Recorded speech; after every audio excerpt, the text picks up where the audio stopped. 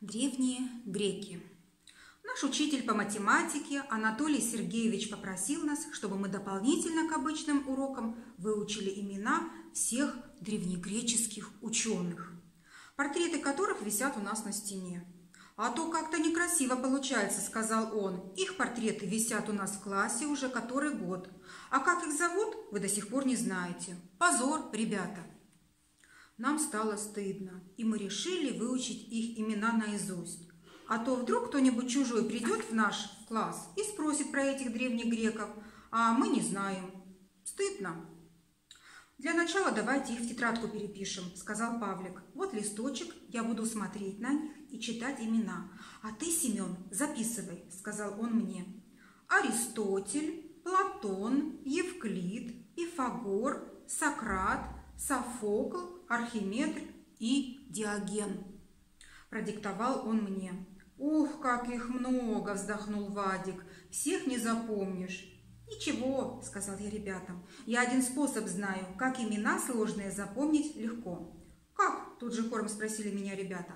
«Нужно зарифмовать их», – ответил я. «Ну, например, вот, Платон скушал утром весь картон» или «Архимед проглотил слона в обед». «Здорово!» – кивнул Вадик. «Пошли ко мне домой, будем рифмы придумывать. Мы сейчас этих древних греков два счета выучим». Мы прибежали домой к Вадику, бросили портфели на кровать и уселись на диван. Хорошо, что у Вадика родители в это время никогда дома не бывает. Можно спокойно заниматься своими делами. «Давай, Семен», – сказал Павлик, – «ты у нас в классе главный поэт. Придумывай рифмы, а мы будем записывать». «Пифагор – хранитель гор», – тут же придумал я. «Как их еще гор?» – не понял Вадик. «Горы бывают разные», – пояснил я. «Высокие, низкие, а он их охраняет. Чего тут непонятного?» – спросил я. «А что их охранять-то?» – снова спросил Вадик. «Их разве украсть можно?»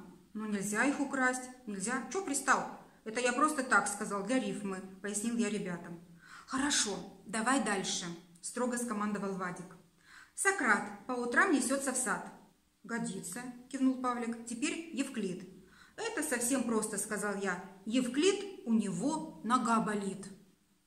«А Софокл?» – спросил Вадик. «А Софокл – быстрый сокол», – ответил я. Ну, осталось еще одного грека зарифмовать. И готово, обрадовался Вадик. Диогена. Диоген – наш супермен, вдруг выкрикнул Павлик. «Здорово», – сказал я, – «теперь нужно все это вместе выучить, и дело в шляпе». Мы сели за письменный стол, и через два часа все было готово. Вот что у нас получилось. Древнегреческий Сократ по утрам несется в сад, потому что там в саду есть лимон и какаду. И его дружок Софокл прилетает, словно сокол. Среди яблонь супермен, в бочке скачет Диоген. Между груш хранитель гор, математик Пифагор. Не спешит к друзьям Платон, скушал утром он картон. Не прибудет Архимед, проглотил слона в обед. И не мог прийти Евклид, у него нога болит. Вот такие у нас с ребятами стихи получились. Я, Павлик и Вадик выучили их наизусть. И с тех пор, как только взрослые нас спрашивают, кого из древнегреческих ученых мы знаем, Тут же вспоминаем эти стихи и называем по именам всех самых знаменитых древнегреческих ученых. Взрослые очень удивляются и хвалят нас. Вот какой хитрый способ я придумал. Лали-папу, лали-лали-лали-лали.